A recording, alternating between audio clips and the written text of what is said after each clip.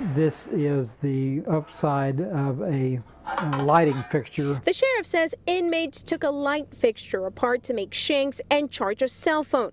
One of the weapons as big as six inches long. In jail terms, this is a sophisticated shank made with with stuff that's right in their own cells. And the staff here believe they used something as small as a string to cut these devices. Think about just a sheet, you know, what can a sheet be used for? It can be used to make deadly weapons. The items were all taken from four different cells on the 12th floor. That floor houses the most dangerous inmates.